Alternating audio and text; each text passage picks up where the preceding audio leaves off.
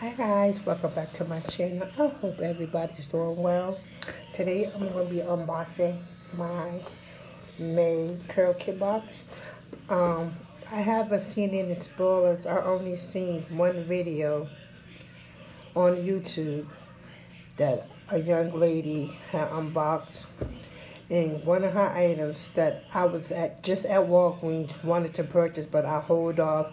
It was the Cream of Nature um, foaming mousse. I really wanted to try that, but um, I just hold off on it. I don't know why, but yeah. So let's get this box open.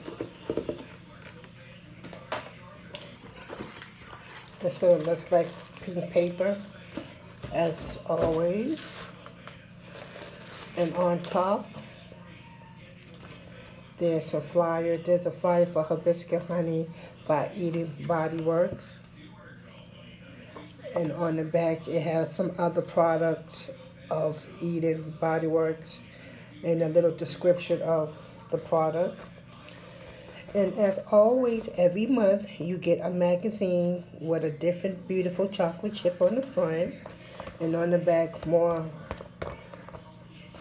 um, product advertisement and in the inside it shows more beautiful chocolate chips and a little information about natural hair which is awesome. All right guys from looking for my box I'm gonna have to purchase it myself because I got different product. Okay I'm to start with the cream of nature Aki Berry in Carrington Strengthening Hair Mask. Looks like that. Wow, this is funny. I was on their website getting ready to purchase this next item. From Shea Moisture, Raw Shea Butter, Hydrating Facial Wipes, and Frankincense and Myrrh. This is a 30 pack. That's what it looks like. The next thing, I got Lotta Body Coconut and Shea Oil Control X Gel in black. Mm, it smells good too. And it's just black. I don't know, probably one of my nieces snatch it up. They always snatching something up. And the next thing I got was this Mystic Black Novex. I don't even know what this is, but it's some type of conditioner, I believe. I don't got my glasses on, so I can't tell you what it is. But it smells good, though. Let me see.